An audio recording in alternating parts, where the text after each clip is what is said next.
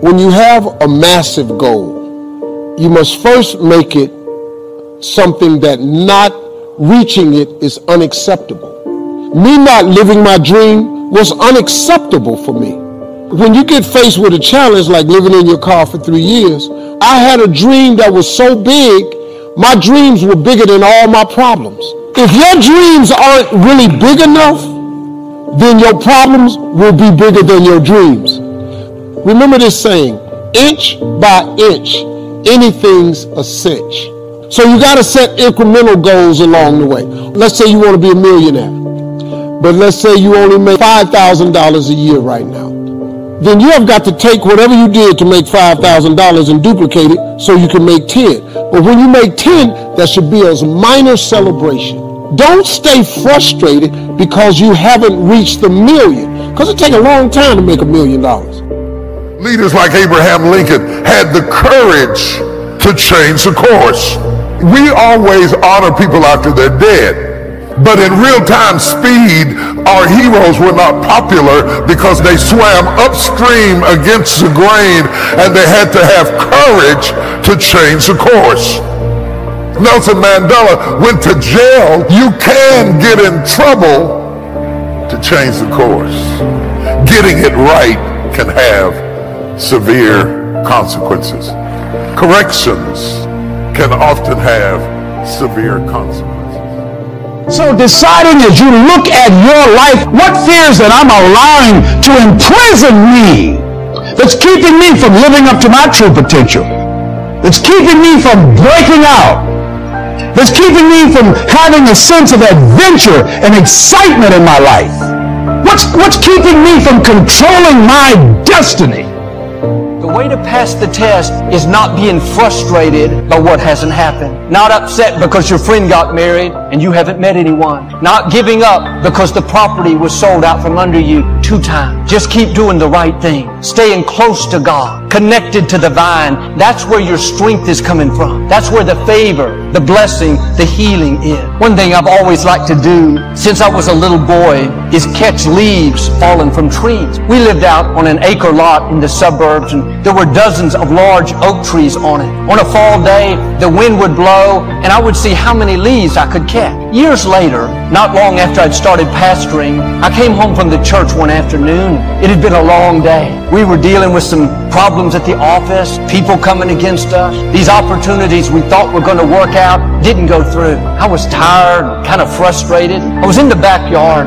We had this one big tree. The wind started blowing. Leaves began to fall all around me, hundreds of them, if not thousands. It looked like it was raining leaves. I naturally started trying to catch them, grabbing here, grabbing there, but I couldn't catch anything. It was the strangest thing. Right when I was about to grab the leaf, it would dart away. I caught more when I was eight years old. I was already frustrated. This was like pouring salt on the wound. Nothing was working out. Couple of hours later, I went out for a run through the neighborhood. So I turned the corner, coming down the last half mile. The wind started blowing. Leaves were falling here and there. I didn't pay any attention. I just kept running. About a minute later, after everything had calmed down, as this arm came up, a leaf landed perfectly in my hand. I didn't try to catch it. I didn't even see it coming. It just fell right into my palm while it was in motion. It was like God said to me, Joel, you're striving, trying to make all these things happen. Make the ministry grow. Make doors open. Make people before you.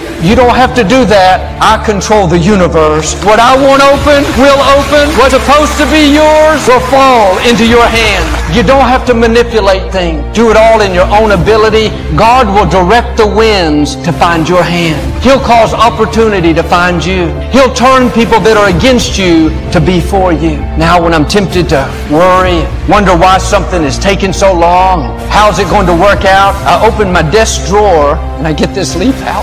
It reminds me that what belongs to me will come to me. That the creator of the universe, the God who spoke worlds into existence, is ordering my steps. That I don't have to strive, I just have to abide. Keep honoring God, just keep walking in His ways, and you will bear much fruit. The Compaq Center is much fruit. Victoria is much fruit. Expensive fruit. Our Sirius Radio channel, our Sirius Radio channel came to me much fruit. I wonder if you're doing like I was, trying to grab a leaf, frustrated because something is not changing, wondering why it's not working out. Stop striving. At the right time, what belongs to you is going to drop into your hand. It's not going to happen by your own efforts, your own ability. Yes, use your gifts. Yes, be your best. But what God is about to do is supernatural.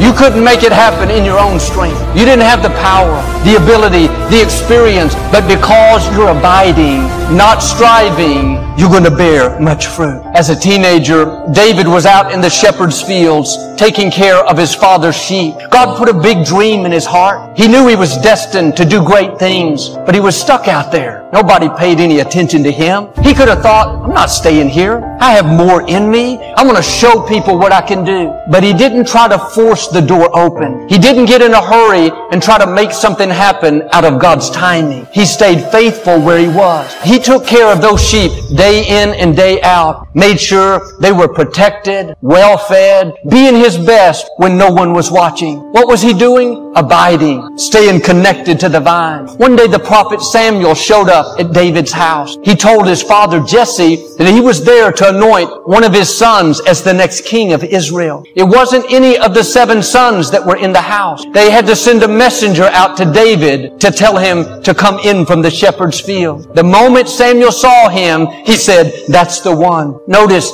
David didn't go after the crown. The crown came to him. He didn't manipulate things, live sour because he was stuck in the field, complain about how he got left out. He just kept abiding, being his best, working under God, not under people, and much fruit came knocking at his door. If you'll just keep abiding, doing the right thing when no one is watching, staying faithful when things aren't changing, like with David, favor is going to come looking for you. Good breaks, healing, the right people are going to come knocking at your door. You're not being left out. God hasn't forgotten about you. He sees your faithfulness. He sees you doing the right thing when it's hard. Your time is coming. Stay connected to the vine and much fruit is on the way. Something better than you've imagined. The reason it's taken longer than you thought is it's going to be bigger than you thought out of the ordinary, something that you didn't see coming. I walked in our living room the other day and there was a lizard on the floor looking out the window. Now, I didn't want to touch him, but I didn't want him in the house. I got a paper grocery bag and I was going to catch him and put him outside.